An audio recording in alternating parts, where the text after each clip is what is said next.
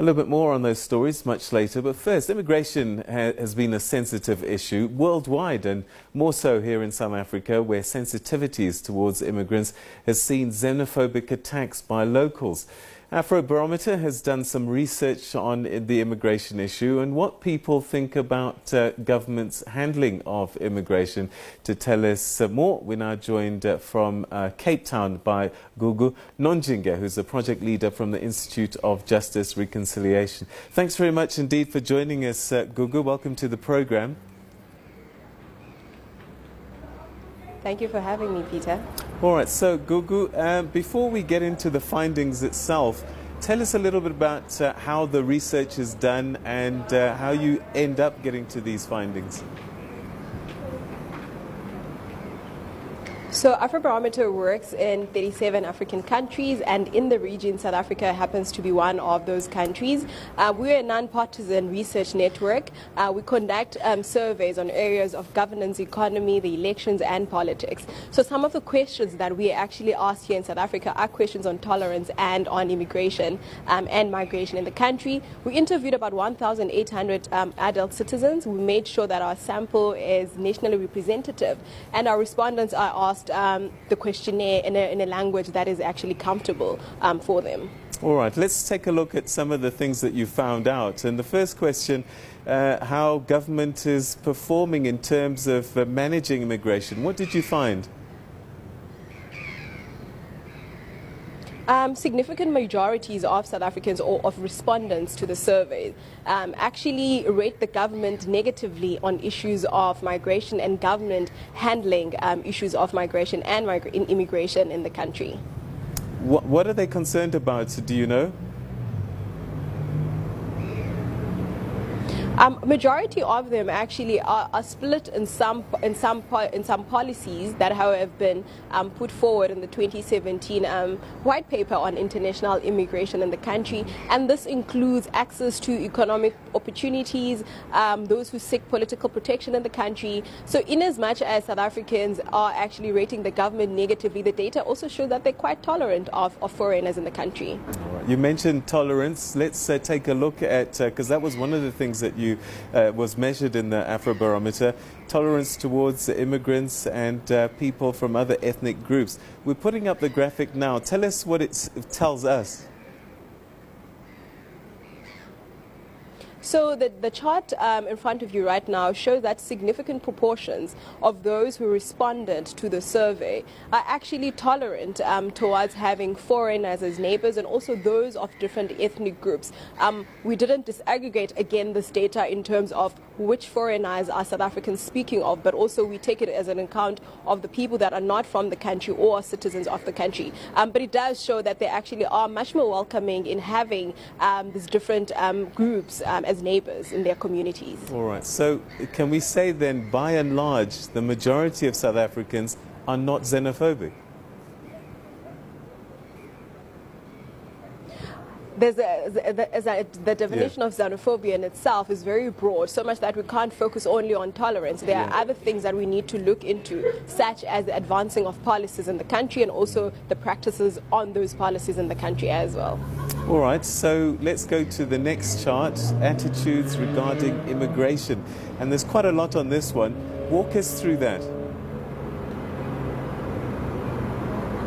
So the chart on attitudes towards immigration in the country, you see that respondents were asked in terms of do they should they agree or do they not agree in terms of um, foreigners should be should be barred from from accessing employment in the country, and you can see that a majority of them actually say that no foreigner should not be given work in the country. Um, and then again, the last the last chart, as you can see in the in, in the in the graphic in front of you, it asks if those who are persecuted in their country should be offered with some protection in our country. And again, you can see a bit of mix of, of, of feelings, but also majorities are still saying that South Africa should not offer um, this political protection to those who actually seek it and those who are actually see, um, fleeing um, political persecutions from their countries. All right, so this uh, politically persecuted foreigners deserve protection in South Africa. That's quite close. 48% say no and they strongly disagree. So there is a bit of sensitivity in, in allowing people to come if they are if they feel uh, persecuted in their own countries?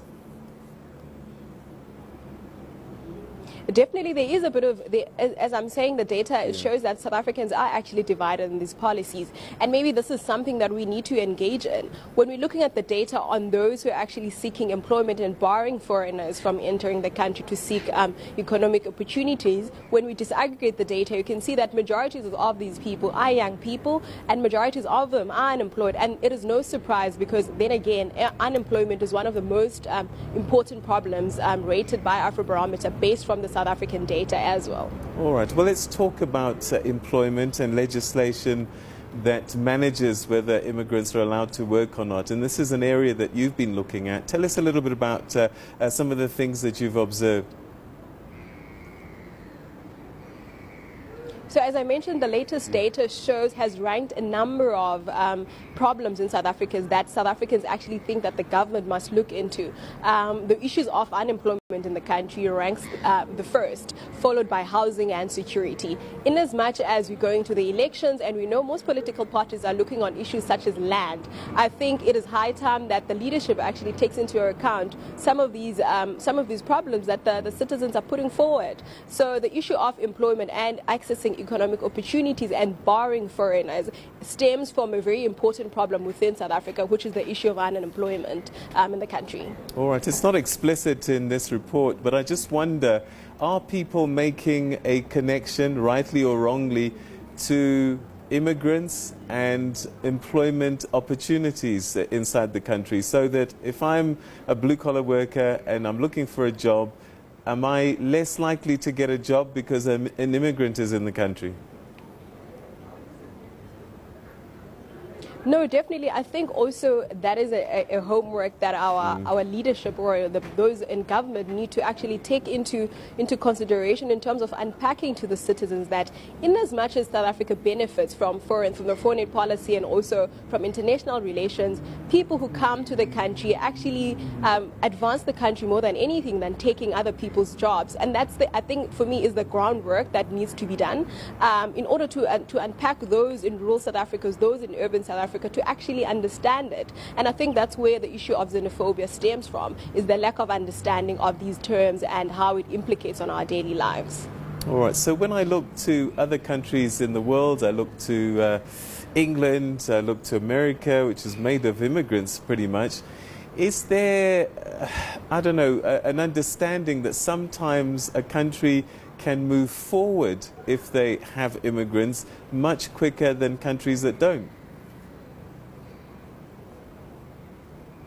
time um, the latest um, Afrobarometer mm. Pan African profile was looking at migration and youth, and we can see that majorities of those who actually leave um, Africa are young people. However, they leave again seeking employment opportunities and other economic opportunities. And in as much as you can ex- you would expect that most of these young people are going to Europe and so forth, they're actually moving within around the countries. Mm. I mean, in, in the continent, and not necessarily in their regions, but also from different parts of the continent as well. So I think for me that's something that um, the continent at large needs to look into in terms of the young people are leaving their countries to seek opportunities in different other regions. And that's something maybe that we need to address. All right. So, what recommendations would this report really give to the President, Minister of Home Affairs, perhaps, in terms of looking at policy uh, around immigration?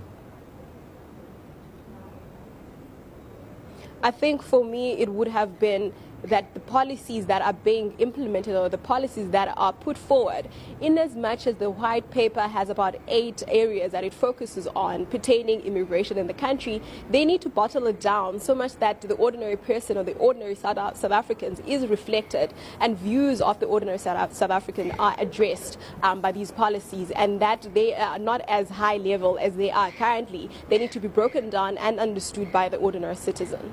All right, so Gugu, we're going to have to leave there. Thank you so much indeed uh, for uh, giving us uh, some insights into this uh, interesting research done by Afrobarometer. Thanks so much for your time.